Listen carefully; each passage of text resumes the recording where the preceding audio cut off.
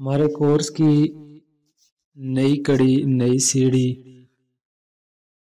edu train, online training mentor आज तीसरा lecture present करता है, जिसमें कंप्यूटर के पार्ट्स कितने हैं, इनपुट डिवाइसेस कौन सी होती हैं, आउटपुट डिवाइसेस कौन सी होती हैं, मेमोरी क्या है, फिर सीपीयू क्या है थोड़ी सी इनकी एग्जांपल्स देखेंगे।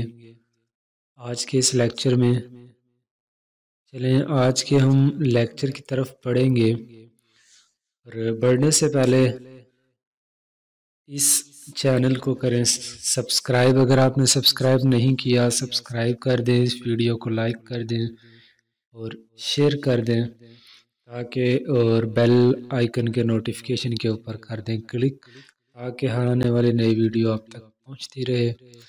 तो चलें, देखते हैं आज का लेक्चर। आज के लेक्चर में हमने कंप्यूटर के पार्ट्स देखने हैं। कंप्यूटर के मेन पार्ट्स कितने होते हैं? टोटल इसके जो मेन पार्ट्स होते हैं, वो चार होते हैं। जिनमें जो पहला पार्ट होता है या पार्ट नंबर फ़र्स्ट, जिसको सीपीयू भी बोला जाता है। उसके बाद मेमोरी इनपुट डिवाइसेस और आउटपुट डिवाइसेस।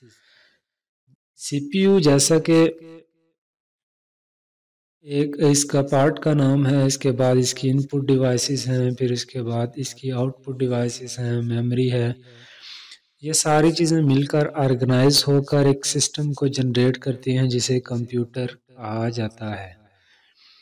तो इसका जो पार्ट नंबर फ़र्स्ट है, सीपीयू। सीपीयू एब्रीवेटेड है सेंट्रल प्रोसेसिंग यूनिट से सीपीयू की फंक्शनैलिटीज़ या वर्किंग की अगर बात की जाए तो उसमें ये है कि एक तो ये कि ये ब्रेन कंप्यूटर का है और ये सारी एक्टिविटीज़ को परफॉर्म कर रहा होता है।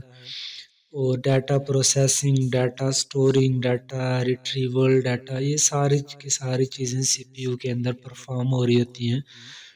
और सीपीयू के भी आगे मेन कंपोनेंट्स होते हैं जो डिफरेंट फंक्शनैलिटीज़ परफॉर्म कर रहे होते हैं। जिसमें मेमोरी यूनिट होता है, फिर कंट्रोल यूनिट होता है, फिर ए होता है। मेमोरी यूनिट या फिर मेमोरी स्टोरेज यूनिट इसका जैसा कि नाम से ये ज़ाहिर है, इसका मेन जो बेसिक पर्पज़ होता है वो स्टोरेज के लिए है। और कंट्रोल यूनिट का सारे का सारा जो कंट्रोल होते हैं, जो इन एंड आउट इंस्ट्रक्शंस हो रही होती हैं, वो सारी की सारी कंट्रोल यूनिट से हो रही होती हैं। और ए से जो भी हम कैलकुलेशन परफॉर्म कर रहे होते हैं, वो अर्थमेटिक लॉजिक यूनिट फ़ंक्शन से परफॉर्म हो रही होती हैं। तो ये इस तरीके से सीपीयू की फंक्शनैलिटीज़ परफॉर्म हो रही होती हैं। उसके बाद हमारी आ जाती हैं इनपुट डिवाइसेस इनपुट डिवाइसेस की अगर बात की जाए तो इनपुट डिवाइसेस ऐसी ऐसी डिवाइसेस होती हैं जो कंप्यूटर को इंस्ट्रक्शंस देने के लिए कि कंप्यूटर ने क्या करना है, वो परफॉर्म कराने के लिए यूज़ होती हैं, जिनमें कीबोर्ड है माउस है जॉयस्टिक है, फिर light pen track ball scanner graphic tablet microphone और इस तरह से ये सारी की सारी जो हैं वो इसकी इनपुट डिवाइसेस में शामिल होती हैं।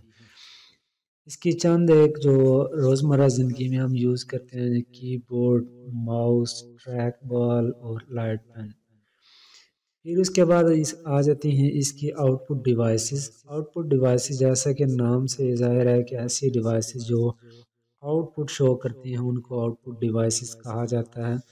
आउटपुट डिवाइसेस में मॉनिटर आ जाते हैं ग्राफिक प्लाटर आ जाता है प्रिंटर और स्पीकर वगैरह आ जाते हैं, जो कि कंप्यूटर के अंदर होने वाली फंक्शनैलिटी जो हम उसको इनपुट करते हैं, उन सब की आउटपुट शो करते हैं।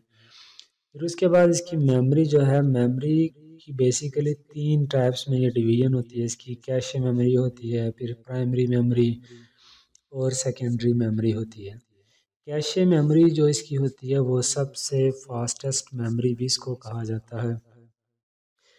उसके बाद इसकी जो प्राइमरी मेमोरी होती है, ये इसके अंदर बिल्ट इन होती है और सेकेंडरी मेमोरी जो है, वो कंप्यूटर के अंदर एक्स्ट्रा मेमोरी के तौर पे लगाई जाती है ताकि कंप्यूटर मज़ीद जो है वो चीज़ों को एडअप करने के लिए या स्टोर करने के लिए यूज़ कर सके।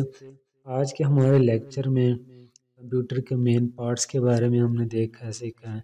उम्मीद है आपको आज की वीडियो पसंद आई होगी।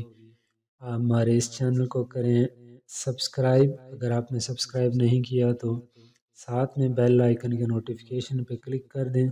वीडियो को लाइक कर दें शेयर करें। इन